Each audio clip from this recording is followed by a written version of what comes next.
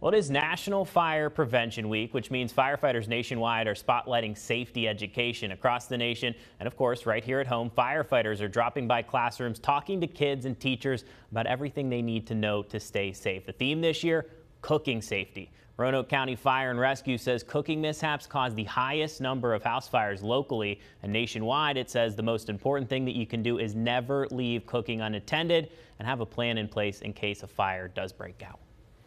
We find that people in an emergency situation, they do a lot better when they have thought this through ahead of time.